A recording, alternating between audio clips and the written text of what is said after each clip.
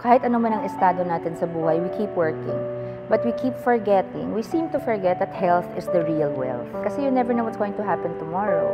Ang mas nangangailangan yung mga lalong nahihirapan. Kung kaya naman nilang maghulog ng paunti-unti, basta meron kanya, may protection ka. Kasi baka yung kinikita mo hindi sapat sa pambili ng gamot. Marami nagkakasakit, mga anak, di ba, o ikaw mismo. Lalo kung ikaw yung breadwinner, nagtatrabaho ka para sa pamilya mo, tapos bigla ka nagkasakit, paano na yung pamilya mo? At kahit nga anong estado, it's one thing off your list, aalalahanin. Kahit ako, di ba? So, that's why it's important to have it.